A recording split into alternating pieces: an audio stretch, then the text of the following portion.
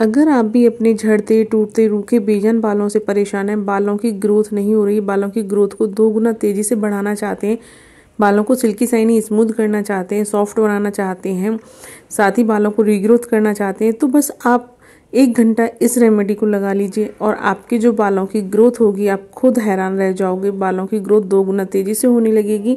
साथ ही आपके डैमेज हेयर रिपेयर होंगे सिल्की साइनी स्मूथ हो जाएँगे। बालों में एक अलग ही चमक देखने को मिलेगी। साथ ही आपके हेयर रीग्रोथ करेंगे हेयर फॉल कंट्रोल होगा हेयर जड़ से मज़बूत होंगे। तो फ्रेंड्स आपको वीडियो को एंड तक देखना है। बिल्कुल भी स्किप नहीं करना है। अगर चैनल पर पहली बार आए तो चैनल को सब्सक्राइब कर लेना, बेल आइकन का जो बटन इसे प्रेस कर देना, जिससे आने वाली हर वीडियो की नोटिफिकेशन आपको मिल सके। मैं आपके लिए ऐसी अच्छे अच्छे वीडियोज़ बनाकर लाती रहती हूँ।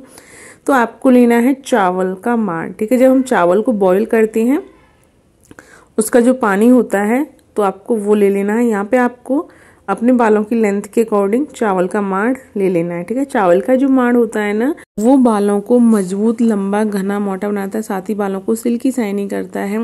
हेयर फॉल को कंट्रोल करता है, हेयर को रीग्रोथ करता है। इसमें मौजूद पोषक तत्व तो विटामिन हेयर की हेल्थ को बेटर रखते हैं, उन्हें मजबूती देते हैं, साथ ही बालों को रिपेयर करते हैं। फिर सेकेंड चीज़ आपको लेनी है ग्लेसरीन।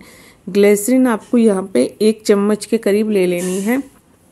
ग्लेसरीन जो होती है ना डैमेज हेयर को रिपेयर करती है, जो रूखे बेजान बाल हो जाते हैं, कितना भी हेयर वॉश कर लो कंडीशनर कर लो, लेकिन हेयर एकदम डैमेज रहते हैं रूखे रहते हैं तो ग्लेसरीन जो होती है ना, वो डैमेज हेयर को रिपेयर करती है, बालों को स्मूथ कर देती है। ऐसा लगता है जैसे आपने अभी पार्लर से कैरेटिन कराया हो तो बहुत ही पावरफुल होती है ग्लेसरीन बालों को रिपेयर करने में, साथ ही स्कैल्प को क्लीन रखती है और ब्लड सर्कुलेशन को सही करती है, जिससे कि बालों को रीग्रोथ करती है और बाल लंबे होते हैं। फिर फिर थर्ड चीज़ आपको यहाँ पे लेनी है, वो है विटामिन ई का कैप्सूल विटामिन ई कैप्सूल जो होता है ना, वो बालों को रीग्रोथ करता है, साथ ही बालों की रुकी हुई ग्रोथ को काफ़ी तेज़ी से बूस्ट करता है।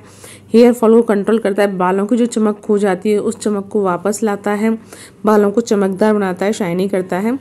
तो इन सबको ना आपको अच्छे से मिक्स कर लेना है। इन सबको अच्छे से मिक्स करने के बाद आपको इसे अपने बालों की जड़ों में लेंथ में अच्छे से लगा लेना है, ठीक है? और लगा करके आपको एक घंटे के लिए छोड़ देना है। एक घंटे बाद आपको अपने बाल धो लेने हैं, जो भी शैम्पू आप यूज़ करते हो उससे। हफ़्ते में आपको इस रेमेडी का सिर्फ़ एक बार यूज़ करना है, ठीक है? एक बार यूज़ कीजिए, हर उम्र का व्यक्ति यूज़ कर सकता है। कितनी भी उम्र हो आपकी, ठीक है ना? गर्ल्स बॉयज़ सब यूज़ कर सकते हैं। और इससे जो आपके बाल है ना, इतनी तेज़ी से लंबे, घने, मोटे होंगे। फ्रेंड्स आप खुद हैरान रह जाओगे। आपके बाल लंबे, घने, मोटे होंगे, जड़ से मज़बूत होंगे, हेयर सिल्की साइनी स्मूथ होंगे। तो आपको बहुत ही गजब का रिज़ल्ट मिलने वाला है। आप एक बार इस रेमेडी को ज़रूर यूज़ कीजिए। और हाँ मुझे ज़रूर कमेंट बॉक्स में बताना कहाँ कहाँ से आप मेरे वीडियोस देखते हो। ठीक है ना? तो वीडियो को लाइक, शेयर, कमेंट करना बिल्कुल नहीं भूलना है। अपना फीडबैक ज़रूर शेयर